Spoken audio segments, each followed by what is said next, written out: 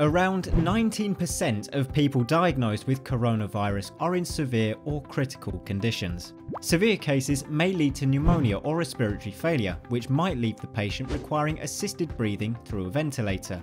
This video provides a quick overview of how mechanical ventilators work to ensure vital organs and tissues receive sufficient oxygen to function normally. How does the respiratory system work? The autonomic nervous system triggers respiration by sending a signal to the diaphragm and intercostal muscles between the ribs. This allows for the lungs to contract and expand, resulting in a lower internal pressure.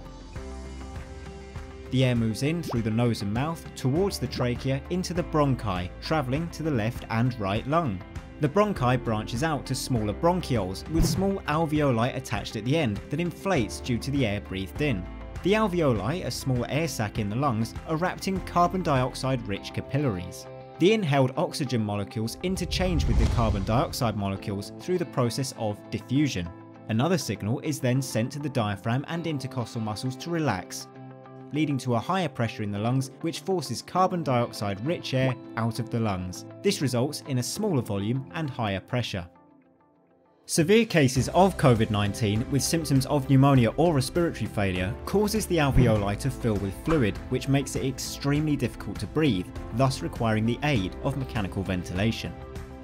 How mechanical ventilators work. Mechanical ventilation involves using a ventilator to assist or replace the patient's breathing. This may involve a machine called a ventilator, bag valve mask or BVM which is compressed by a medical professional, the most common mechanical ventilators used apply positive pressure to the opening of the airway and air is forced into the lungs. The ventilator is a closed circuit that is attached to an endotracheal tube in the patient's airway. On inhalation, the oxygen-rich air moves from the ventilator to a heat-moisture exchanger, where the air is heated and humidified to simulate natural air. Air is then forced into the lungs following the same route as that of normal breathing, on exhalation, carbon dioxide rich air will be exhaled passively. With COVID-19 patients, it is important that pressure is always present on the lungs after exhaling to keep the alveoli open and assist with oxygenation to reduce breathing effort. Positive end expiratory pressure, or PEEP, is used in ventilators to keep this constant positive pressure. Mechanical ventilators constantly monitor the pressure, volume and flow of air. Medical professionals use the monitored variables to choose the best ventilator mode for the particular patient. Invasive mechanical ventilation involves an instrument placed through the mouth into the trachea, such as an endotracheal tube, whereas facial mask and nasal prongs are commonly used for non-invasive ventilation.